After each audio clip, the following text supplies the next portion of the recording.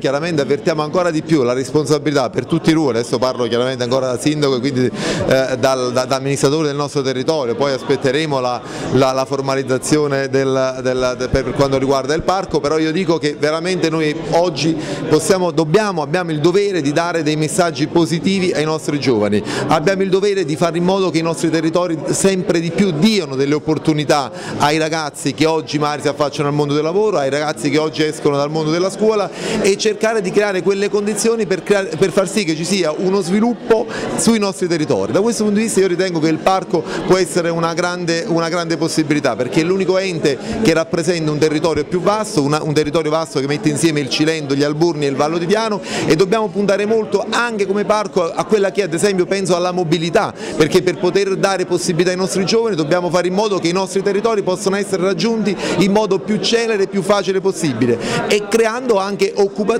creando anche tutte quelle, quelle condizioni per far sì che appunto i giovani restino nel nostro territorio. Io penso che la sfida della politica debba essere esattamente questa. Ecco, lo ha detto lei, non c'è ancora l'ufficialità, però ormai si sa Tommaso Pellegrino, il prossimo presidente del parco, il governatore De Luca ha dato il suo assenso, quindi manca la formalità soltanto del, della Camera dei deputati. Lei avverte tutta uh, questa aspettativa che ci, si sta uh, creando anche nel Vallo di Diano intorno al suo nome, c'è tanta aspettativa proprio perché potrebbe essere un motivo di rilancio per tutto questo territorio. L'avverte questa aspettativa? Beh, avverto una grande responsabilità, innanzitutto l'affetto che in questi giorni tanti mi hanno dimostrato e anche la condivisione rispetto a questo sul mio nome eh, da una parte mi riempie eh, di, di, di, grande felicità ma dall'altra parte mi carica chiaramente di responsabilità ma non sono certamente quelle che, che, che mi spaventano, anzi io penso anche l'atto di fiducia, io non avevo dubbi sul, su De Luca, sul Presidente De Luca ma il, la, la sua firma è un atto di fiducia oltre che di stima nei miei confronti, così come c'è stata da parte del governo